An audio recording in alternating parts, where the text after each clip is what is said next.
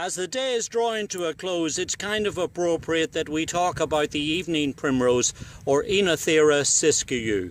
Here's a perennial that, as you see, puts on a terrific show with its large buttercup-like flowers that are a very attractive shade of white and pink. It only grows about a foot tall and as you see starts to flower now in the early summer and if it's dead-headed through the season that's cut back will keep coming periodically right the way through to the fall. But before you run out and plant this in your favourite beds and borders, there's a little bit more that you need to know about this plant. First of all, it's a native perennial that grows in Texas, southern New Mexico, and into Mexico. So it gives you some idea of the conditions that it likes sunny and well drained.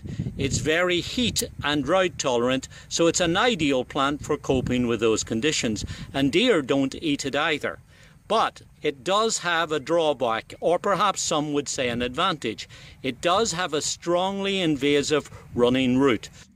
It's the sort of plant that if you put it in a raised bed, perhaps a sloping bank, by the side of a road, perhaps even naturalized in grassland, it's the sort of plant where it can grow and flower and not cause any problems whatsoever. It's really not the sort of plant that you put in with your other perennials in a bed or border. So as you see, if you've got the right spot for it, this could be a very attractive perennial in your garden. This is Oenothera siskiyou.